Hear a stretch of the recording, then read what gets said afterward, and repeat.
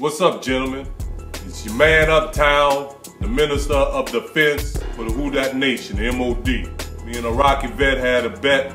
It was a bet that he and I had agreed to, you know, way back in the off season. And just coming on here, man, to pay my bet. The bet was if I was to lose the game, you know, I would have to wear this punk motherfucking hip jersey. As you can see, I'm rocking.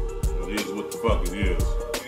For those who like offense, I guess that was a good game. I don't consider that game to be a good game, strictly from the standpoint of I like to see defense being played. Both of the teams then played a nickel worth of defense, you know, last Sunday.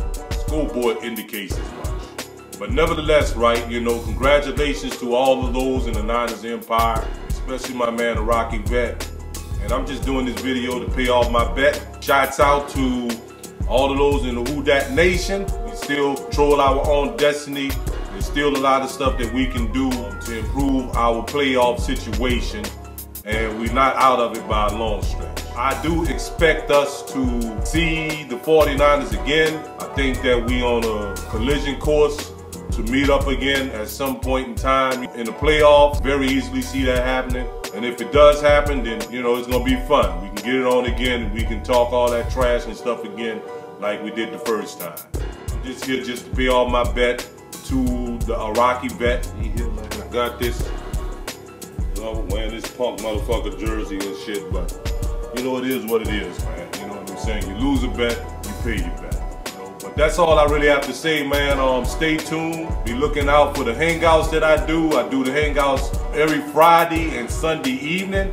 Those of you who haven't came through, come through. I like to hear what you guys have to say talk a little trash, you know, because that's what we do here. You understand? Mark that off your bucket list. You say that you went through Saints Uptown Hangout and you survived the jungle, if you will. And that's all I really have to say, man. I hope everybody and their families be blessed. Who that, baby? For life.